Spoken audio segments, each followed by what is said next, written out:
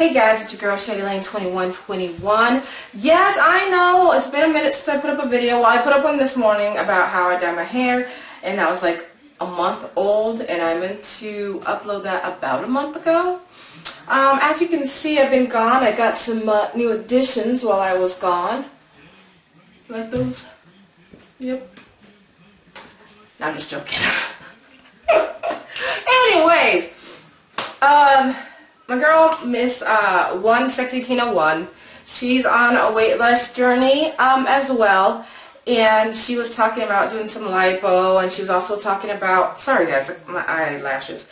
She was talking about, you know, some of the previous uh, surgeries that she's had.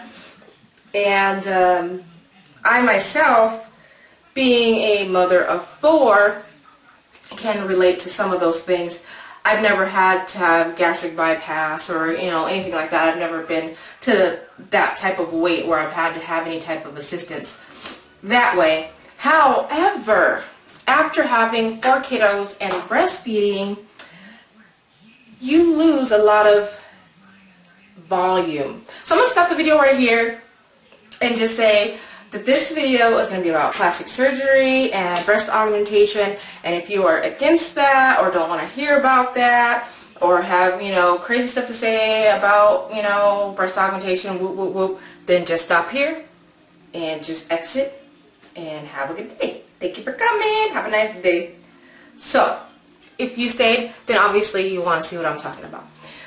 So, anyways, I'm 31 years old um, doing the Nutrisystem. I've lost a lot of weight. I've wanted a breast augmentation since, gosh, probably about uh, 10 years ago. Uh, Clay has always been very much against me getting uh, breast augmentation. Uh, just thought that, you know, I was fine with my natural me, which, you know, that's cool. I appreciate that. But I have to be the one that's comfortable with my body as well. And I just have not been. So, as I said, um, having four kids, I felt very deflated, and losing weight is not helping the situation. I've lost 13 pounds. I'll do an update on that. I've lost 13 pounds in the last month and a half. And so when I started out, you know, the highest I've been is a 34 double D. I'm now down to a 34 B or C. Does it look like that now? Does it? No. I did not have surgery, guys. Um, what I have on are rice sizers. So see, big difference. Big difference. So, I don't wear these in public. I'll talk about these in a minute. So I have decided after many, many years and uh, Clay has decided that he's on board to have a augmentation, which I am definitely stoked for. I will be having it the day after Easter, and I am just so happy, so excited, but yet so nervous.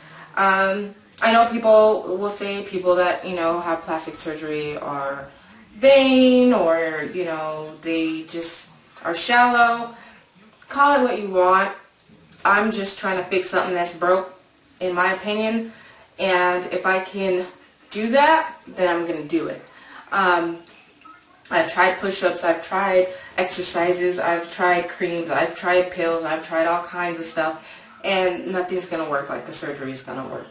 So that is what I've decided to do. And for me, that's the right option. For you, that might not be the right option. But for me, it's come all these years, taken all these years to finally get to this point. And, you know, I've done a lot of research and this is just what's good for me.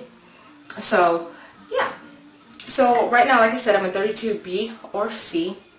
I will be going into surgery. At this point, what I'm thinking that I'm going to have is a crease incision, which means that they will put the implant under the crease of your breast here, and it's usually a small incision about yay big, um, usually no more than an inch. On each side, I'm going underneath the muscle uh, because I just like the look of that better. Also, the fact that if you need to get a mammogram, your monthly breast exams are easier to detect any lumps or abnormalities if you go under the muscle versus going over the muscle.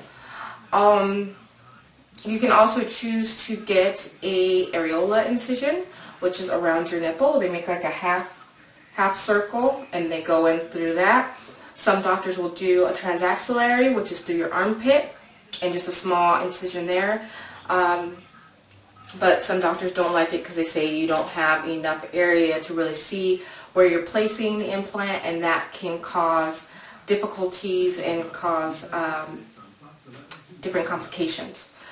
There's also some doctors that do the TUBA procedure, which is going through your belly button and up your chest and into your breast. So for me, I have enough tissue to where a crease incision will not be noticeable. I really don't want any incisions on my areola. I just don't want any sensation issues there. Although most people don't lose their sensation, there is that possibility. There's even a sensation of losing your um, your sensitivity on your nipples with going under the crease. But I think there's less of that chance with going unders. What type of implant will I be getting? As of right now, I will be getting the saline implant. I went back and forth between saline and the new silicone.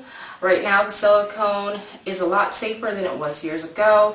When I felt them in the office, they were so soft. They felt like regular tissue.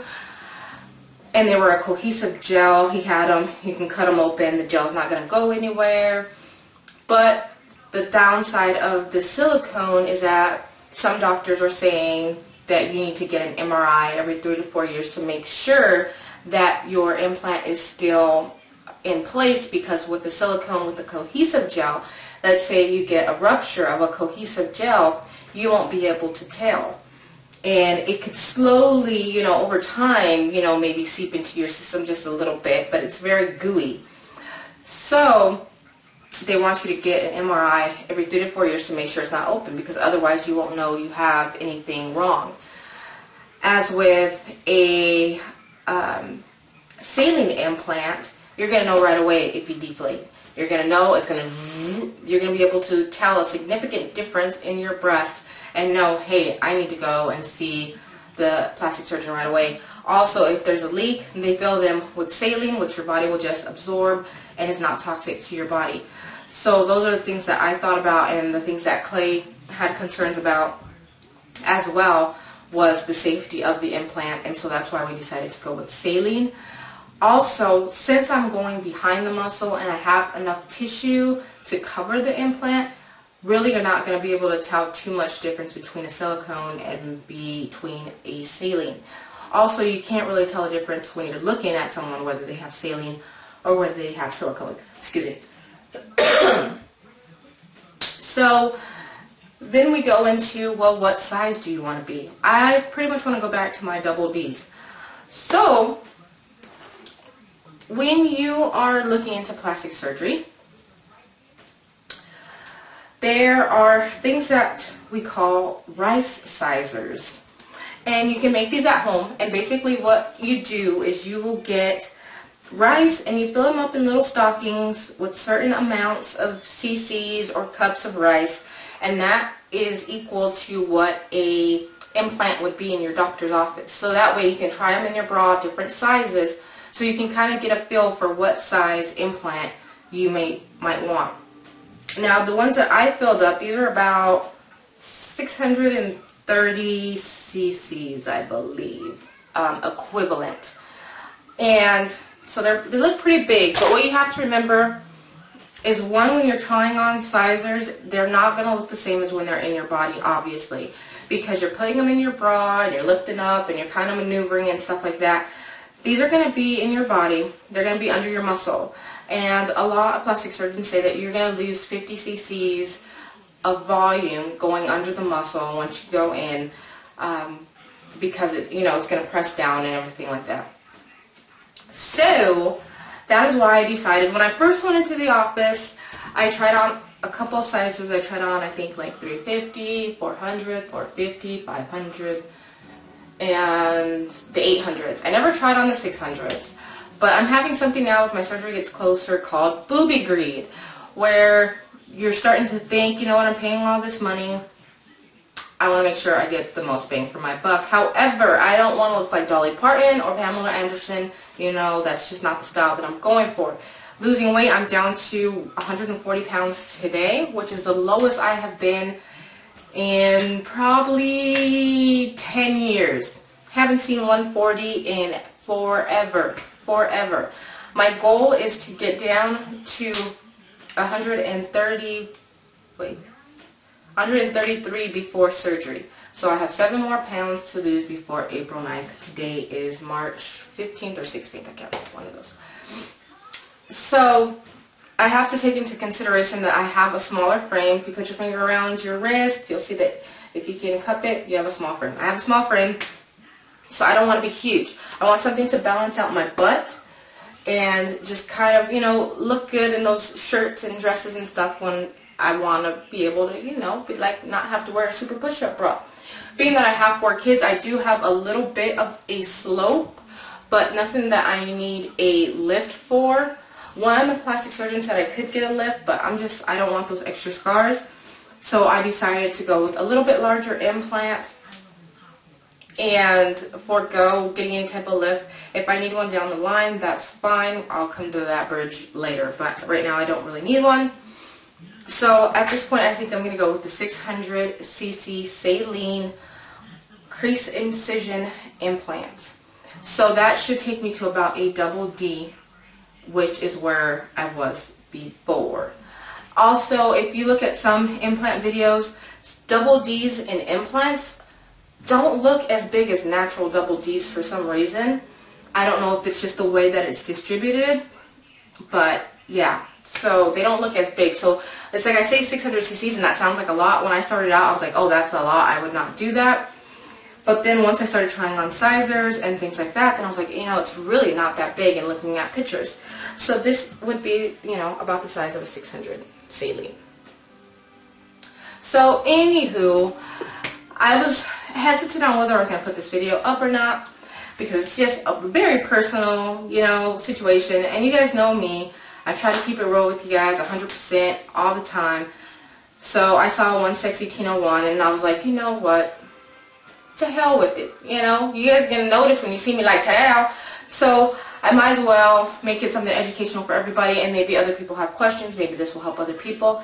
So I can do some videos answering questions for you guys and, you know, do my follow-up on pre-op, post-op, all that good stuff in other videos and like go on profiles and sizes and different stuff and just do a whole little series on it because, you know, there's a lot of people that are interested in getting implants and I don't see anything wrong with it, obviously, because I'm getting them. But, so anyway, so I just want to share that with you guys, put that out there, say what's cracking. Um, that's where I've been mainly. I haven't been making videos. I haven't been doing much of anything except for working and then coming home and looking at booby websites and saying, okay, I like those or I like those or researching on complications or researching on, you know, other people's stories and I, that's constantly what I've just been swimming in is boobs. All day, just boobs, just boobs. I'm on my phone, I'm looking for boobs. So um, I tend to get overwhelmed with things easily and I just like latch on. So right now I'm latched on to boobs. So Anywho, so I'm going to load this video up and you guys tell me if you guys have any questions or whatnot, what your thoughts are, what your opinions are. Have you ever had plastic surgery? Have you had augmentation? How was your experience? Whoop, whoop, whoop. Leave all of your comments below and um, yeah, talk to you guys later. Is.